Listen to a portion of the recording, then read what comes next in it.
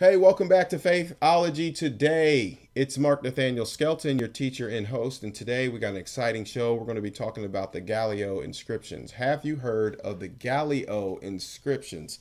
See, remember, our mission is to help build faith and destroy doubt. So I have another piece of archaeological evidence that supports the biblical text, in particular the book of the Acts of the Apostles. So let's dive right in it and drive your uh, let me draw your attention rather to Acts chapter 18 verses 12 through 17 acts chapter 18 verses 12 through 17 so let me give you a little background information before we launch from the scripture text and introduce you to this individual um, that you know existed in history. So paul is going about he's on his missionary trips and he's helping to build the church of christ. And basically he just left athens and he's arrived at corinth. He's a tent builder He's um, he's connected with uh, Aquila and Priscilla. They're building tents. Uh, Timotheus and Silas have just came in from Macedonia. They're preaching the word of God. They're teaching it, and it seems like the Jews aren't really receiving it in this area in particular. They're not really receiving the message all that well. So he's basically like, you know what? I'm about to start teaching to the Gentiles now, and so you know, once again, we're going to be launching 12, and so basically he continued there a year and six months teaching the word of God among them. And so now, if you haven't been paying attention, now's the time because verse 12, we're introduced to an individual. I'm going to read this segment, verse 12 through 17, and kind of break it down. And, and, and we'll look at um, this piece of evidence and how it supports this individual that is introduced to us in the text. So, verse 12 states, And when Gallio was the deputy of Achaia, the Jews made insurrection with one accord against Paul and it brought him to the judgment seat, saying, This fellow persuadeth men to worship God contrary to the law.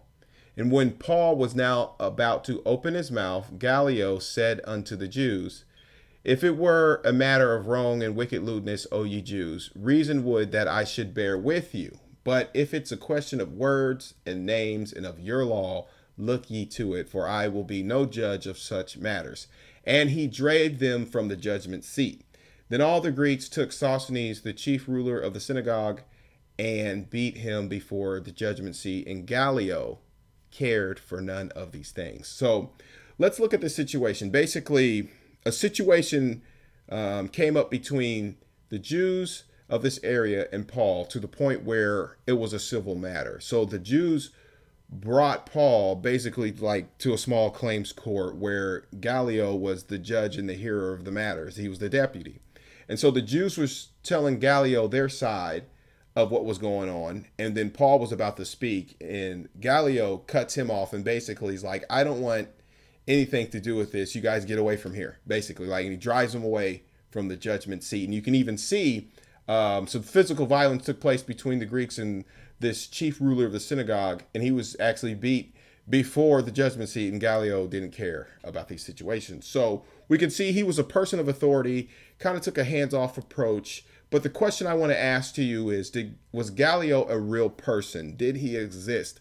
Was Paul real? Is there any historical evidence that supports the scriptures of a man named Gallio that was the deputy of this area? What time did this take place, right? So let me introduce to you the Gallio inscriptions, also known as the Delphi inscription. So let's talk a little bit about its discovery, its descriptions, its contents, and the significance of what this means for the hearer. So basically, the Gallio inscriptions, the Gallio inscriptions, are fragments that were discovered at Delphi near the building of Apollo in Greece. Delphi was the place of the most significant oracle in the classic world the Pythia, the priest of the building of Apollo.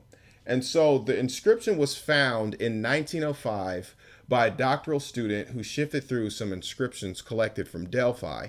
And it contains a letter from the Emperor Claudius to the town of Delphi. So here goes a little more descriptions of what this is. So the so-called Gallio inscription is a collection of nine fragments and these are letters that were written once again by the Roman Emperor Claudius in 52 AD, the year of our Lord, 52 AD. So about 20 years, we could say, after Christ ascended from the earth. And so, you know, this is this is pretty recent um, time frame, and um, initially there was four fragments that were unearthed, then three additional ones, and finally two more.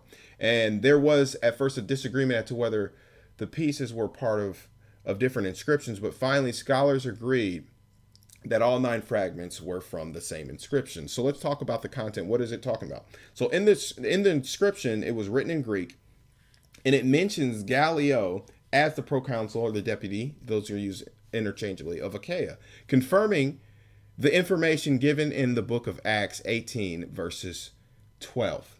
Um, it also, you know, so a little bit of the content, it, enter, in its introduction, it mentions the title of Caesar. So Tiberius Claudius Caesar Augustus, um, dating the letter to the beginning of 52 AD historically.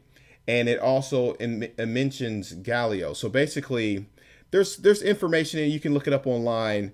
But basically, um, the uh, the emperor has a concern with how you know destitute the city is and so i quote it says but now since it is said to be destitute of citizens he's talking about delphi as gallio my friend and proconsul recently reported to me. So basically he's, he's writing to delphi about how an individual named gallio who is his friend and is the proconsul um, reported back to him that the city's destitute of citizens, and he's actually at the end he orders and encourages, uh, invites well-born people uh, from other cities to become inhabitants at Delphi. So that's pretty interesting. So let's look at what is the significance of this. What is the significance of this inscription? So basically the existence of Gallio and his position is confirmed by an archaeological discovery at Delphi back in 1905 and I believe it was made public depending on the resource the source you read it, it was made public in 1908 but and it consists of these nine stone fragments it helps to establish the chronological order and narrative of Paul as it is presented in the historical document known as the book of Acts and it also um, this particular find shows how archaeology can give us a better understanding of the biblical text, especially in giving us dates and times that things have happened. By being able to date this this part of Paul's work, we can get a better understanding of when Paul visited other churches, cities, and towns during his missionary journey. So Paul's whole mission was to help build a church that Christ purchased with his blood, the Church of Christ. And Paul was a real person on a real mission. And so uh, this discovery supports the integrity of the book.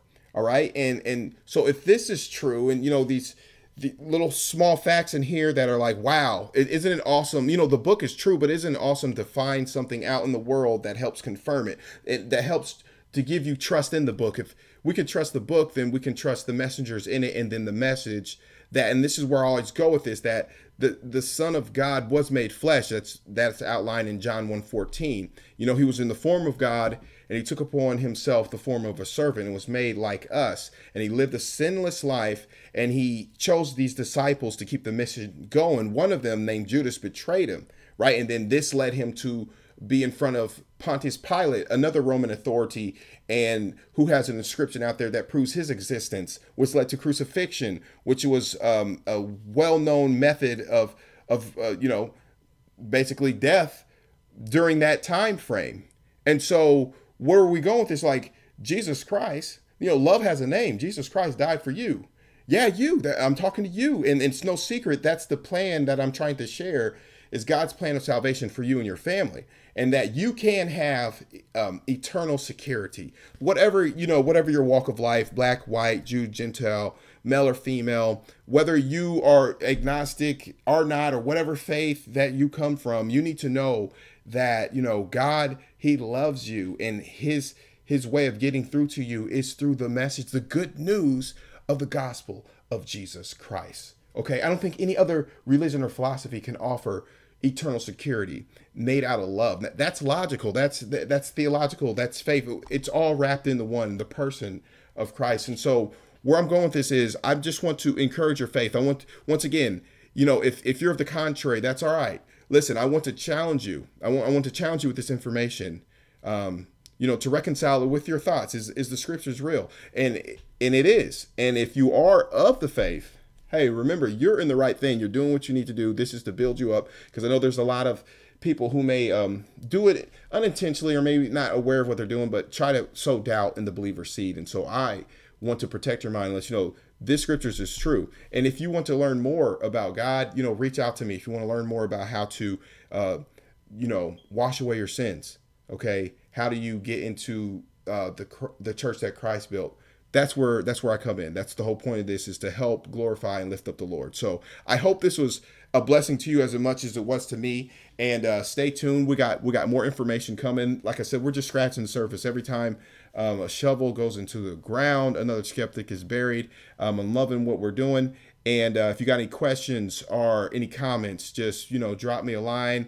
Faithology today at gmail.com and uh, we'll, we'll, we'll um, hey we'll take care of that for you. So till next time, be blessed and uh, God bless. Peace.